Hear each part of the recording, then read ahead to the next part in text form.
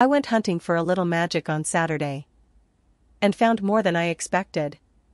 A long run, followed by a long list of chores to do, and then a treat for me. Dinner out on a deck at a restaurant I like. There were more places that I loved, and probably would have rather enjoyed, but she loves this place. Camp Taco.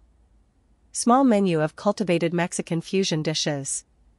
Mostly too spicy for me. I like flavor with just a little heat. A lot of local chefs seem to think heat is a flavor.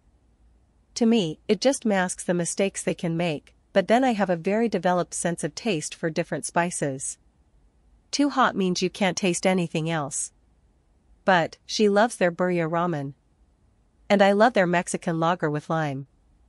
So we sat on the deck next to a big group of folks, which gave her one of her favorite pastimes.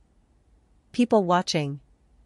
We got bean dip and cheese dip and I ordered a Mexican Caesar salad. And it was perfect. The breeze from the river two blocks away, the degree of twilight as the sun set beyond the city, the lights in the rafters. Cold beer. Hot food. Good company. After a good run and good work. I know how ritual magic works. Take a bunch of ingredients and mix them all together and wham bam, thank you ma'am, you've got magic. That was my Saturday night. Just a string of moments that came together and turned out great. Hope you had one, or find one, and if you don't or didn't, then it's time to make one. Get you some magic going.